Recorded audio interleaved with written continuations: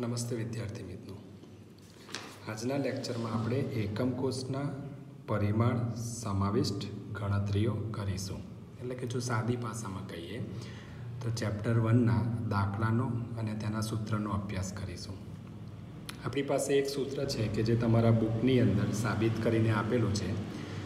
સાબિતી ઘણી જ સરળ હોવાને કારણે આપણે અત્યારે એને ધ્યાનમાં લેતા નથી. આપણે સૂત્રને ધ્યાનમાં લઈએ. સૂત્ર મને ચોપડીમાં લખેલું આપેલું છે D is equal to Z into M divided by A cube into N A તો આના પદોને સમજી લઈએ સૌ પ્રથમ.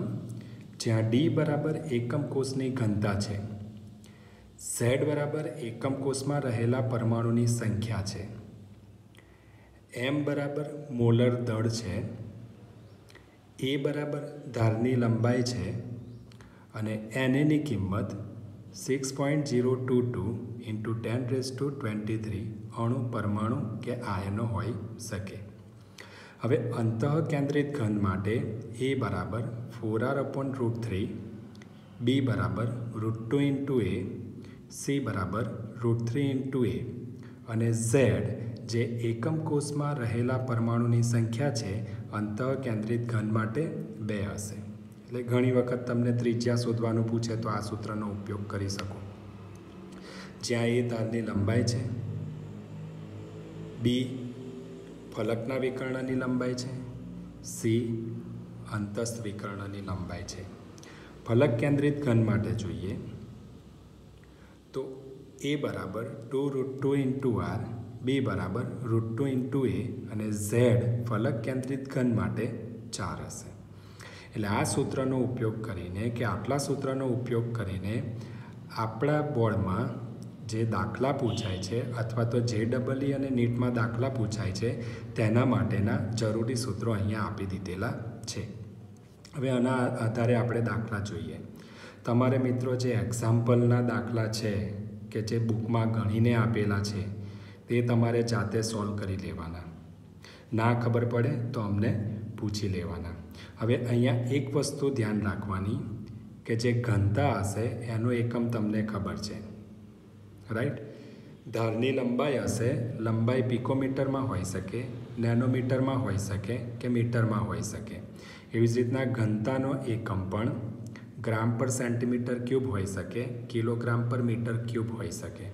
તો આ બંને એટલે કે ધારની લંબાઈ અને ઘનતાના એકમો સરખા હોવા જરૂરી છે. એ પ્રમાણે મોલર દળના એકમને પણ આપણે ધ્યાનમાં લઈશું. ટૂંકમાં કહેવાનો મતલબ એવો છે કે જ્યારે તમે કોઈ પણ દાખલો ગણો, ત્યારે દાખલામાં મૂકવામાં આવતી કિંમતોના એકમો એક સરખા હોવા જરૂરી છે.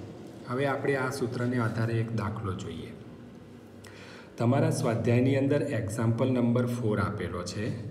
ચોપડીમાં તમારા સ્વાધ્યાયમાં એક્ઝામ્પલ નંબર ફોર આપેલો છે. એ આ રીતના કંઈક હોઈ શકે. એક્ઝામ્પલ નંબર ફોર એટલે એ તો મેં લખ્યો છે મારી રીતના. તમારા સ્વાધ્યાયની અંદર એ વન પોઈન્ટ ઇલેવન છે. તમારા સ્વાધ્યાયમાં એ દાખલા નંબર વન પોઈન્ટ ઇલેવન છે. સિલ્વર ધાતુ એફસીસી લેટિસમાં સ્ફટિકીકરણ પામે છે. જો એકમ કોષના ધારની લંબાઈ four point zero seven into ten raise to minus eight centimetre અને ઘનતા દસ પોઈન્ટ પાંચ ગ્રામ પર સેન્ટીમીટર ક્યુબ હોય તો સિલ્વરનું પરમાણીય દળ ગણો.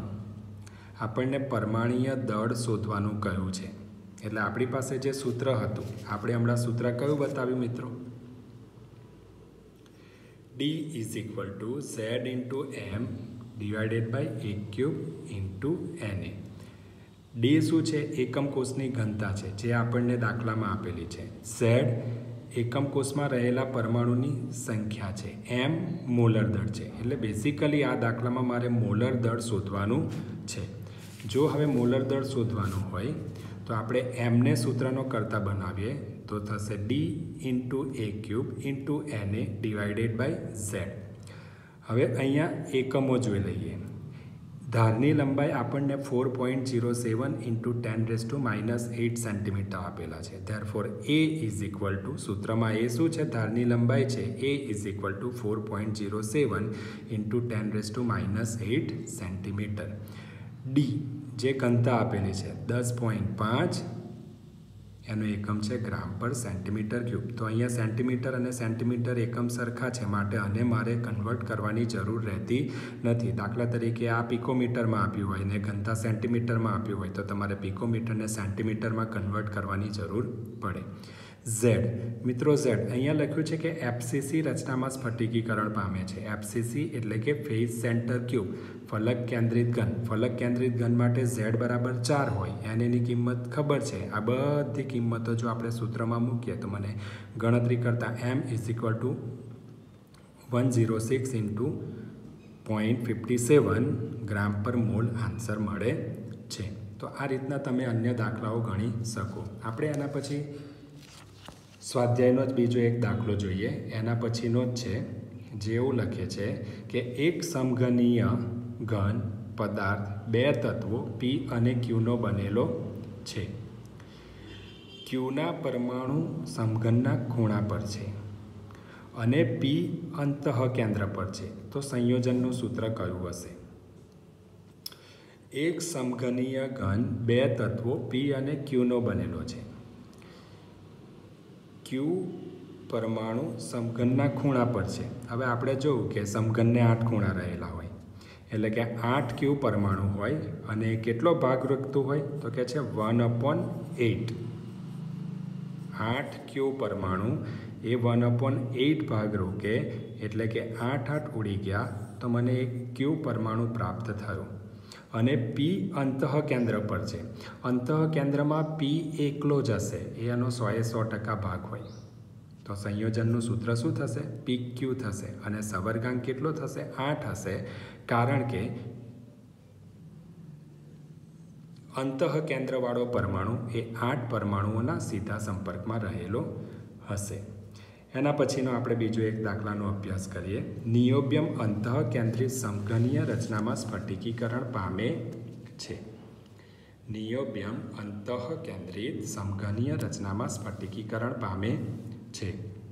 જો ઘનતા આઠ પોઈન્ટ પંચાવન ગ્રામ સેન્ટીમીટર ક્યુબ ઇન્વર્સ હોય, ક્યુબ ઇન્વર્સ હોય, તો નિયોબ્યમનું પરમાણીય દળ નાઇન્ટી થ્રી યુ લઈને પરમાણીય ત્રિજ્યા ગણો. અહીંયા તમને પરમાણીય ત્રિજ્યા શોધવાનું કહેલું છે. હવે આપણી પાસે સૂત્ર છે મિત્રો. Z is equal to D ગુણ્યા એ ક્યુબ ગુણ્યા એન એ ભાગ્યા M A cube is equal to શું થશે? શા માટે પરમાણીય ત્રિજ્યા શોધવાનું? પરમાણીય ત્રિજ્યા શોધવા માટે તમારે ધારની લંબાઈ શોધવી પડશે. તો ધારની લંબાઈને સૂત્રનો કરતાં બનાય. A cube is equal to Z into M divided by N A into D તો આ બધાની કિંમતો મારે મૂકવી પડે.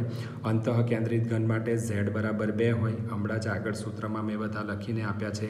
એમ તમને આપેલું છે નાઇન્ટી થ્રી યુ ડી તમને આપેલી છે ઘનતા એઇટ પોઈન્ટ પંચાવન ગ્રામ પર સેન્ટીમીટર ક્યુબ એ જ્યારે તમે સૂત્રના કિંમતમાં મૂકશો અને ગણતરી કરીએ, ત્યારે એક ક્યુબ ઇઝ ઇક્વલ ટુ એક cube is equal to thirty six point sixteen into ten raise to minus twenty four centimetre મળે. હવે મારે ક્યુબ કાઢવાનો છે. સેન્ટીમીટર ક્યુબ મળે. મારે એની એ જ જોઈએ. તો એ ઇઝ ઇક્વલ ટુ શું થશે? Three point three one into ten raise to minus eight centimetre. હવે બીસીસી રચના માટે આગળના સૂત્રમાં જ લખીને આપ્યું તમને બીસીસી રચના માટે આર બરાબર root three A upon four થશે. આર બરાબર root three A upon four થશે. જો અહીંયા તમને એ સૂત્ર લખીને આપ્યું છે. અંતઃ કેન્દ્રિત ઘન માટે એ બરાબર four R upon root three જો અહીંયા આરને સૂત્રનો કરતા બનાવીએ, તો આપણને મળશે root three into a upon four ત્યાર four R is equal to કિંમતો એની કિંમત મૂકતા મને શું પ્રાપ્ત થશે? One forty three point one centimetre પ્રાપ્ત થશે. તો આ રીતના તમે દાખલાઓનો અભ્યાસ કરી શકો. એના સિવાય બીજો એક દાખલો જોઈ લઈએ. આપણે જે સ્વાધ્યાયનો જ છે, બધા દાખલા આપણે સ્વાધ્યાયના જ લીધેલા છે, જેથી તમને વધારે પડતો ખ્યાલ આવે. કોપર એફસીસી રચનામાં સ્ફટિકીકરણ પામે છે.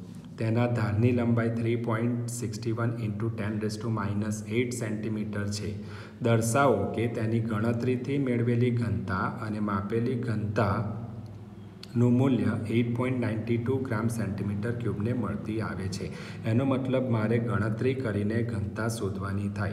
તો આપણી પાસે સૂત્ર છે મિત્રો D is equal Z is equal to D into a cube into N A by M અહીંયા સૂત્રને કરતાં કોને બનાવીશું? ડીને બનાવીશું, કારણ કે આપણે માપેલી ઘનતા શોધવાની છે.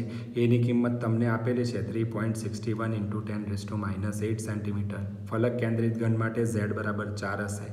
એમની મૂલ્ય કોપર માટે ત્રેસઠ પોઈન્ટ પાંચ હશે. જો આ બધી કિંમતો મૂકો અને ડીને ગણતરી કરીને આપણે તારવીએ તો eight point ninety seven in in gram centimetre centimetre gram પર સેન્ટીમીટર ક્યુબ પર, પ્રાપ્ત થાય છે. એનો મતલબ કે માપેલી મૂલ્ય એની ઘનતાનું મૂલ્ય એઇટ પોઈન્ટ નાઇન્ટી ટુ છે અને આપણે મેળવેલું મૂલ્ય એઇટ પોઈન્ટ નાઇન્ટી સેવન છે, જે મૂલ્ય એકબીજાને મળતું આવે છે. તો આ રીતના મિત્રો તમે અન્ય દાખલાઓ પણ ઘરે ગણી શકો છો. ઘરે ગણવા માટેના દાખલાઓ તમારી પાસે અહીંયા હું તમને આપું છું. એ તમે નોંધી લેશો અથવા તો લખી દેશો. સૌથી પહેલો દાખલો છે. એલ્યુમિનિયમના ક્યુબિક એકમ કોષમાં ધારની લંબાઈ ચારસો પાંચ પિકોમીટર છે. તેની ઘનતા બે પોઈન્ટ સાત ગ્રામ પર સેન્ટીમીટર ક્યુબ છે. તો તે કયા પ્રકારનો એકમ કોષ ધરાવે છે? એના પછી છે.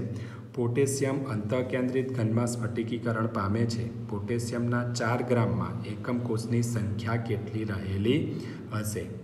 ત્યારબાદ એક દાખલો તમને આપીએ. લિથિયમ ધાતુ એ અંતઃકેન્દ્રિત ઘનમાં સ્ફટિકીકરણ પામે છે. જો તેના ધારની લંબાઈ ત્રણસો એકાવન પિકોમીટર હોય તો લિથિયમ પરમાણુની ત્રિજ્યા ગણો. ત્યારબાદ લિથિયમનું બંધારણ બીસીસી છે. તેની ઘનતા કિલોગ્રામ મીટર ક્યુબ છે. તેની આણવીય દળ સિક્સ પોઈન્ટ નાઇન્ટી ફોર હોય ગ્રામ પર મોલ હોય, તો લિથિયમ ધાતુના એકમ કોષના ધારની લંબાઈ ગણો. અહીંયા ઘનતાનું મૂલ્ય આપેલું નથી મિત્રો માટે, આ દાખલો હમણાં ગણવાની જરૂર નથી. અને છેલ્લો જોઈ લઈએ. એનએસીએલ એફસીસી રચનામાં સ્ફટિકીકરણ પામે છે. જો તેના ધારની લંબાઈ point five six four nanometre છે, તો એનસી એનએસીએલની ઘનતા ગણો. ફરીથી એનએસીએલ એફસીસી રચના ધરાવે છે. તેના ધારની લંબાઈ point five six four nanometre છે, તો એનએસીએલની ઘનતા ગણો. તો આટલા દાખલા તમારે ગણવાના રહેશે. જે પૈકી લિથિયમના જે ઘનતા આપેલો નથી, એ દાખલો તમે ગણશો નહીં. Thank you.